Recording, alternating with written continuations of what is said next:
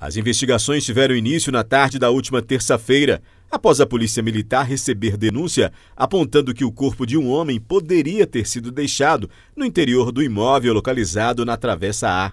No primeiro dia, os militares foram até o local e iniciaram as buscas, acompanhados de peritos da Polícia Civil que coletaram materiais para análise.